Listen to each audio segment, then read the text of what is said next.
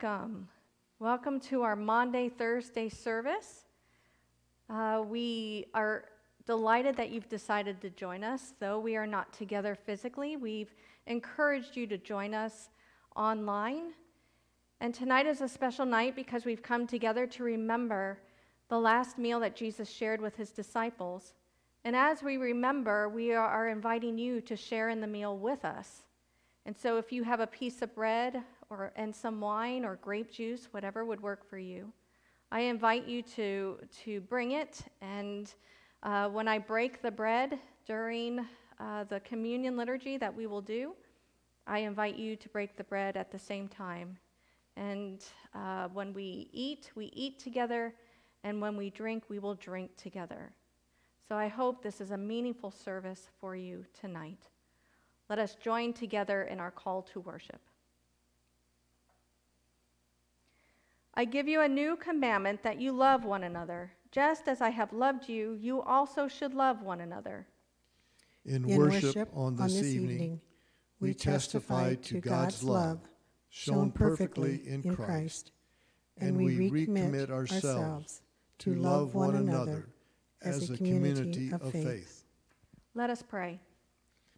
Together, Holy God, we come to worship in the gathering shadows of Jesus' suffering and death. We come with his friends, the men and women who have followed him in every place and generation, to live once again this story of service and betrayal, of weakness and courage. We come to witness your love in action. Be with us, we pray. In Jesus' name, amen.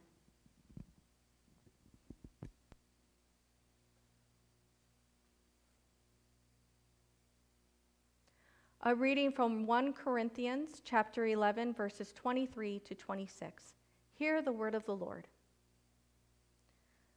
For I received from the Lord what I also handed on to you, that the Lord Jesus on the night when he was betrayed took a loaf of bread, and when he had given thanks he broke it and said, "This is my body that is for you. Do this in remembrance of me." In the same way he took the cup also after supper, saying, This cup is the new covenant in my blood. Do this as often as you drink it in remembrance of me. For as often as you eat this bread and drink the cup, you proclaim the Lord's death until he comes again.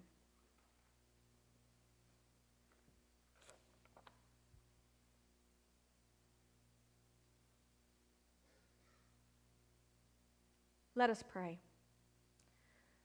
Lord Jesus, we gather together tonight, all in different places around this community. And yet, though we are scattered, we are together. And you see the desires of all our hearts. We desire to hear a word from you. So we pray that you would meet us wherever we find ourselves, spiritually, emotionally, and physically. That you would meet us in the dark, d- darkest places within us, the deepest places that need you the most. And we pray that you would take away anything that hinders us from hearing your voice tonight, hearing the message that you have prepared for us. Open our minds and hearts to all that you have in store. In your name we pray. Amen.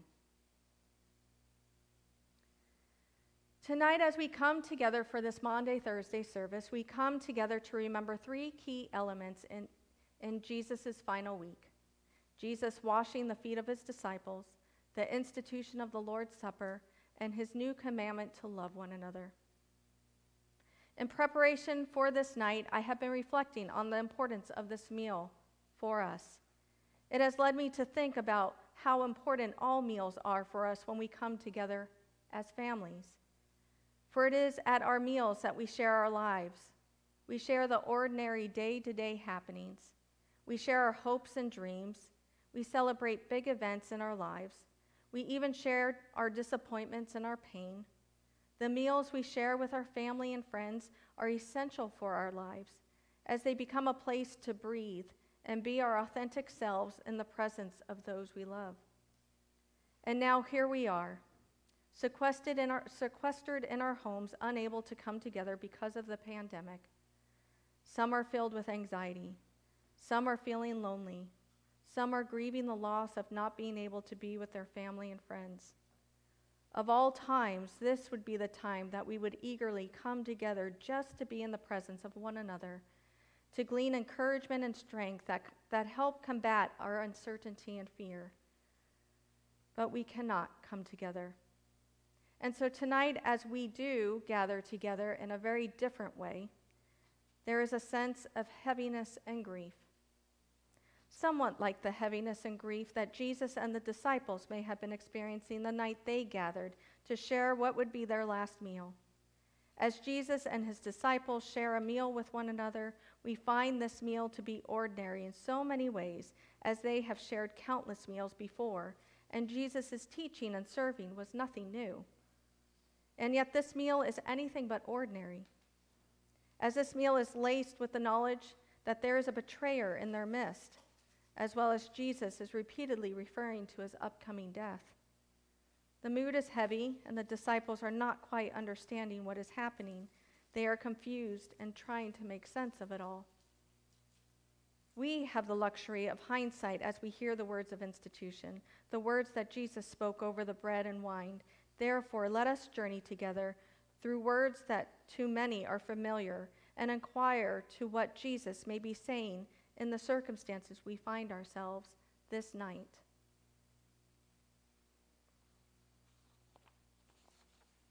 On the night that he was betrayed, yes, Jesus was betrayed by someone closest to him, Judas. I have been betrayed before. Have you? Have you ever experienced someone close to you betraying you? Have you ever experienced the pain and the damage that betrayal causes? Can you still feel the wound that was inflicted? Or can you remember a time when you betrayed someone? Someone close to you, a family member, friend, coworker, perhaps Jesus. Jesus took bread, bread, a main staple in most of our homes, a staple that many of us take for granted, a necessity for many but not all have a staple that connects us with countless people around the world, a staple that we enjoy, that sustains us and nourishes us. Jesus takes bread and brings it to life. The bread becomes his life. And after giving thanks, we find gratitude. Jesus' life was framed by gratitude, even in the face of betrayal and soon to be suffering and death. Jesus gives thanks. Like Jesus, we are invited to frame our lives with gratitude in the face of illness, grief, loss, betrayal, pain, brokenness, and pandemic. For gratitude is more than a practice, it is a lens through which we look. And not only does it color what we see, it can redefine the realities in which we find ourselves. as well as give us strength and courage in the midst of our trials. And after giving thanks, he broke it and gave it to his disciples, saying, This is my body given for you. As often as you eat it, do this in remembrance of me. Jesus' body is broken. He is physically broken. He is imprisoned, tortured, and brutally killed, and dies an agonizing death on a wooden cross. And he does so willingly, experiencing the worst of humanity the lying, betraying, rejecting, judging, deserting, condemning, and killing. And the list goes on. He takes on our sin, the worst that we have ever done and will do, and willingly suffers and lays down his life for each and every one of us. And so, as we eat this bread tonight, we remember. We remember that out of his immense love for us, Jesus willingly gave up his life. And in the same way, after supper, he took the cup, saying, This is the new covenant sealed with my blood for the forgiveness of your sins and the sins of the world. Do this in remembrance of me. In laying down his life, Jesus offers us a new covenant, a new promise of forgiveness. Forgiveness that was paid for by the shedding of his blood. Forgiveness that can bring healing to the deepest parts within us, that covers our shame, that brings us life that sets us free.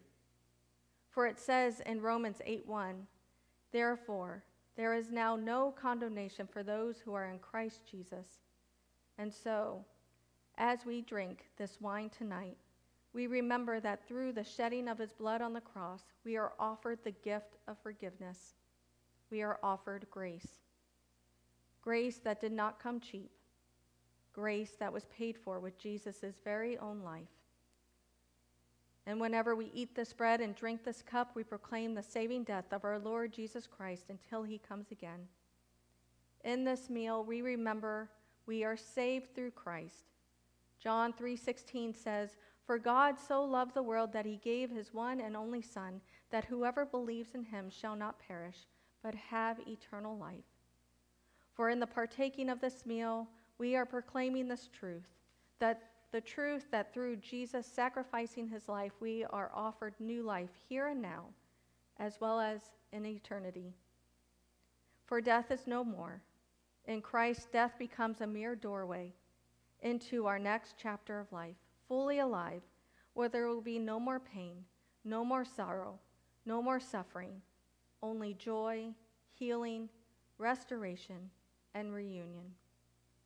And so tonight we come understanding that this isn't just a rote religious ceremony, but rather we are communing, communing with the one who loves us and has given up everything for just to be with us. As we partake of this meal sequestered in our homes with physical distance between us, we can allow this meal to remind us that we are not really alone, as Jesus is with us, and through our screens, whether it be computer, TV, iPad, or phone, we are connected with one another in spirit, and as we are one in Christ. For it says in Matthew 18:20, "For where two or three gather in my name, there am I with them." We have gathered tonight. Jesus is here. Let us join together and come to the table confessing our sins together.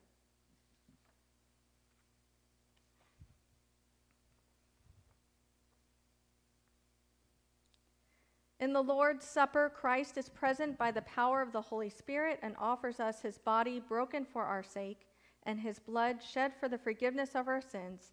As we prepare to receive this great gift, let us confess our sin and hear the promise of forgiveness. Merciful God, we, confess that we have sinned against you in thought, in thought word, and deed, by what we have done and by what we have left undone.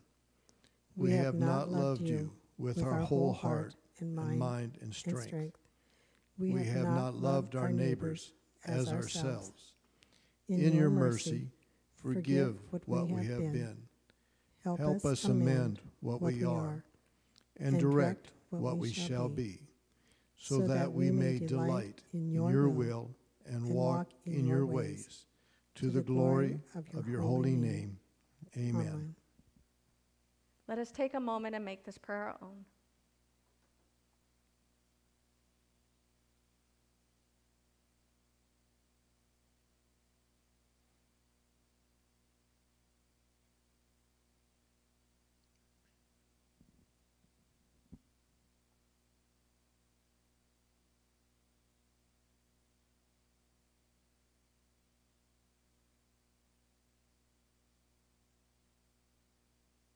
Amen. Hear these words of assurance. The mercy of the Lord is from everlasting to everlasting. I declare to you, in the name of Jesus Christ, you are forgiven. May the God of mercy, who forgives you all your sins, strengthen you in all goodness, and by the power of the Holy Spirit, keep you in eternal life. Praise, Praise be to God. God. Amen. Amen. Please join me in our communion liturgy, and this will be the time that after we do the liturgy and I do the words of institution, I will invite you to break the bread as I break the bread here. And I invite you to eat and drink at due time, and we will do so together. Please join me in our communion liturgy. We are one bread, one body, one cup of blessing. Though we are many throughout the earth and this com- church community is scattered, we are one in Christ. In your many kitchens and living rooms, rest your hands lightly upon these elements which we set aside tonight to be a sacrament. Let us ask God's blessing upon them together. Gentle, Gentle Redeemer, there is no lockdown on your blessing, no quarantine on your grace. Send your spirit of life and love, power and blessing upon every table where your child shelters in place, that this bread may be broken and gathered in love, and this cup poured out to give hope to all. Risen Christ, live in us, that we may live in you. Breathe in us, that we may breathe in you. And on the night that he was betrayed, Jesus took bread and after giving thanks, he broke it. And he gave it to his disciples, saying, This is my body given for you. As often as you eat it, do this in remembrance of me. And in the same way, after supper, he took the cup, saying, This cup is the new covenant sealed with my blood for the forgiveness of your sins and the sins of the world. As often as you drink this, do this in remembrance of me. Whenever we eat this bread and drink this cup, we proclaim the saving death of our Lord Jesus Christ until he comes again. Christ, our Passover, is sacrificed for us. Let us keep the feast.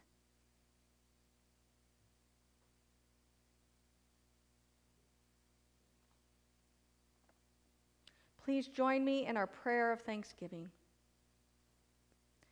Let us pray in thanksgiving for this meal of grace, rejoicing that by the very method of our worship, we have embodied the truth that Christ's love is not limited by buildings made with human hands, nor contained in human ceremonies, but blows as free as the Spirit in all places.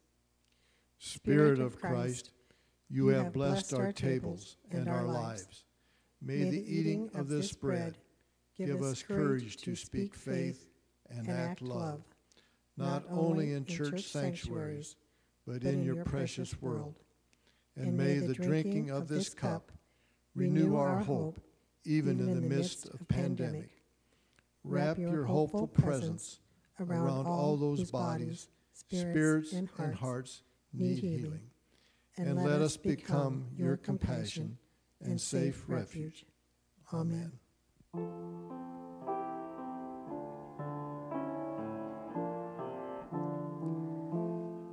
Let us in our many places receive the gift of God, the bread of heaven.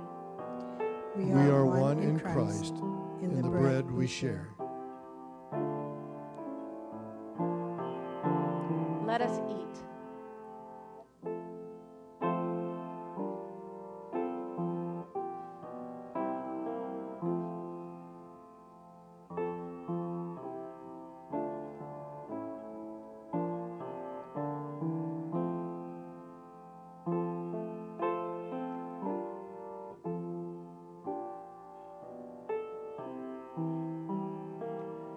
Let us in our many places receive the gift of God, the cup of blessing. We are, we are one, one in Christ, in, in the, the, cup, cup we share. Let us drink.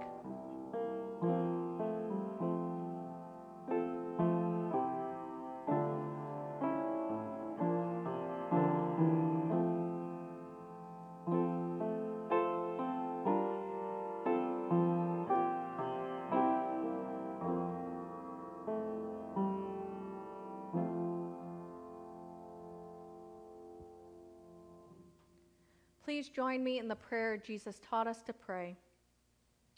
Our Father, who art in heaven, hallowed be thy name. Thy kingdom come, thy will be done, on earth as it is in heaven. Give us this day our daily bread, and forgive us our debts, as we forgive our debtors. And lead us not into temptation, but deliver us from evil. For thine is the kingdom, and the power, and the glory forever. Amen. Receive the blessing. Jesus said, I give you a new commandment, that you love one another, just as I have loved you. You also should love one another. By this, everyone will know that you are my disciples, if you have love for one another. Go in peace, then, loving one another and loving the world that God so loved. Amen. Amen.